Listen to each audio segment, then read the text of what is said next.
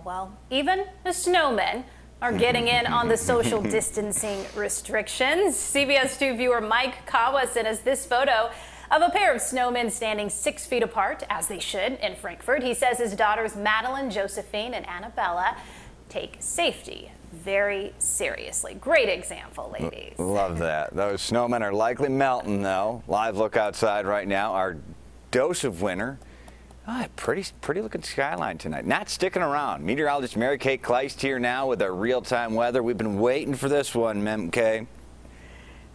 Oh, Brad and Erica, finally a turn for us. But you're right, we broke a record today, three inches of snow at O'Hare. So for a daily record, that was the most snow. So you were able to make a snowman. But now any sprinkles or flurries this evening are going to clear out. So as we move through the night, we start dropping closer to the freezing mark, but skies will start clearing for us. But with that, I think with the low level moisture left over from all the snow, we could see some patchy fog in the morning. Big winds developing on your Saturday. Some could gust to 40 miles per hour hour, and then we're tracking a few showers come Sunday during the day. So 40 is where we stand right now. Our high was only 42. We should be at 60. So we're only about 20 degrees off, but we'll get there. It's just going to take a little time for us.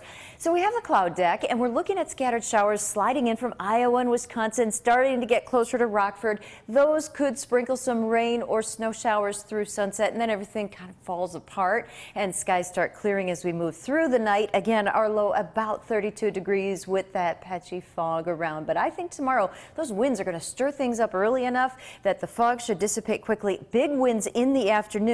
And finally, we push readings into the mid and upper 50s, so that will feel better. But again, with that comes the big wind. So in the morning, we're tracking those wind gusts out of the southwest. It's a southwesterly wind component that's going to pull the milder air into the picture. But again, those winds could gust anywhere between 30 and 40 miles per hour. But it's a dry day. It's a bright day. Sunday, that's when we bring in a few scattered showers of rain. So when we track that out for Sunday, here's how we start the day. Probably in the mid 40s at daybreak. That's going to feel a little better Sunday morning. But with that comes cloud cover, a few scattered showers coming through. This is tacked on to a weak system that's going to be moving through in the afternoon. So touching 50 degrees. But I do think once that front passes, we'll start to pick up a slight lake breeze. And that's going to pull in that chilly air off the lake because the water temperature is still in the 40s. 40s, so it is going to be cold.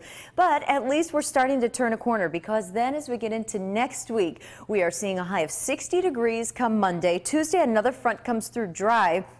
After that, we do warm back up into the 60s. So as I mentioned, 60 is where we should stand, and we will get back to that. It's just a slow transition. So if you're frustrated with any flurries tonight, those will be tapering off just for a little bit of patchy fog toward morning, and then tomorrow nice and bright, but definitely a windy one for us. But those are mild winds, Brad and Erica.